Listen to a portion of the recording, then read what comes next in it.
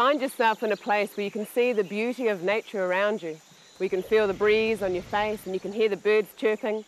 You know, there's times in life where we can be soft like the softness of the petals on a rose, and other times where we can be sharp like its thorns. There's times where we can be strong like a rock or crumble like the earth.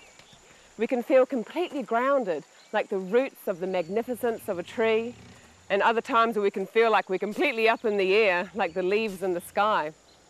We are one with this energy that surrounds us in nature.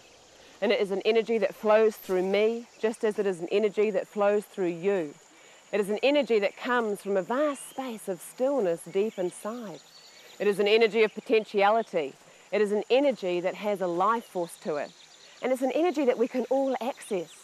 When you become present and you notice your breathing and focus on your body and breathe love into your heart, your heart opens and you begin to feel the infinite space that we all live in. And it's in this moment that we come to realize that we are all one.